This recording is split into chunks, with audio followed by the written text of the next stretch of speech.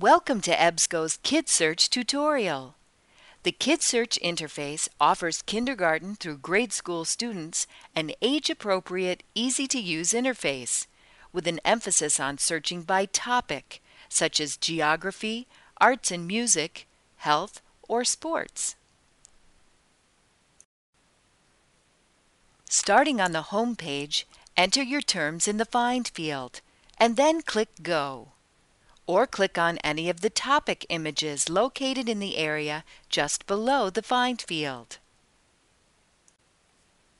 Source types represented in the result list are shown in the colorful boxes at the top. When clicked, you can view results from that source type only, such as magazines or photos. The detailed search screen includes the Search by Topic list. When you click on a topic, a list of appropriate subtopics displays. These subtopics can then be checked and included in your search. Topic searching helps to focus your research from a broad concept to a narrower one.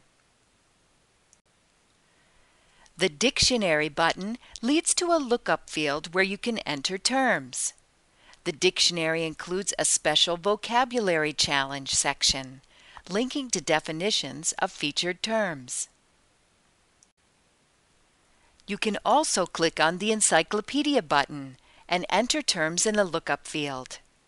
Information about the encyclopedia is displayed on the screen. You can print email, or save any article from a result list by clicking on its title link and then clicking on the Print, Email, or Save link.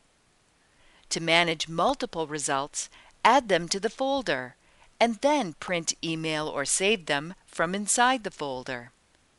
Save folder items beyond the current session by clicking on the Sign In link and setting up a free personalized folder account.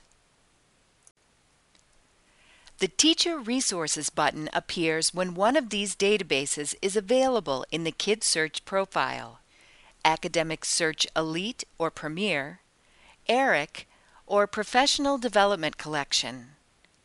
In addition to limiters and expanders, the Teacher Resources screen includes radio buttons for selecting databases, links to curriculum standards from the United States, Canada, and the U.S. Department of Defense education schools, plus links to other education websites.